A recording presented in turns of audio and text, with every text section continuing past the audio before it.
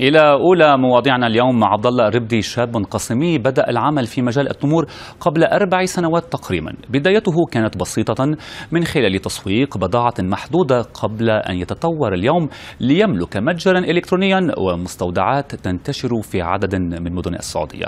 التفاصيل مع سالم الراجح. قبل أربع سنوات بدأ الشاب عبد الله الربدي مسيرته في تجارة التمور. بدايته كانت بسيطة من خلال التسويق قبل أن يتطور ليملك اليوم مستودعات تمور في القصيم والرياض والشرقية وجدة.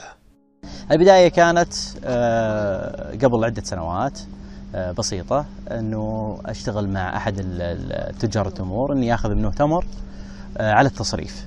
تمر معين حددته بجودة معينة قلت له هالتمر هذا أبى أصرفه أبى أبيعه على التصريف. قال لي خلاص ابشر. صرت آخذ هالتمر طال عمرك وأروح وأحاول أصرفه وأبيعه ثم نسدد للرجال.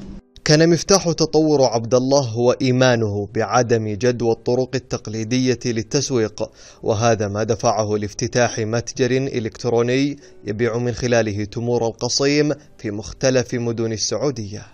وسوينا لنا متجر خاص. المتجر الخاص اللي بديته وفر علي شيء كثير وبدأ يستقبل طلبات وصار عبارة عن محل شغال 24 ساعة. يعني ما فيه وقت دوام يبدأ وينتهي. الطلبات تستقبل في أي وقت. فانطلقنا من هالمرحلة واعتبرنا أنفسنا من آه، تجار تجارة إلكترونية اللي هي التجارة الحديثة واللي هي التوجه اليوم.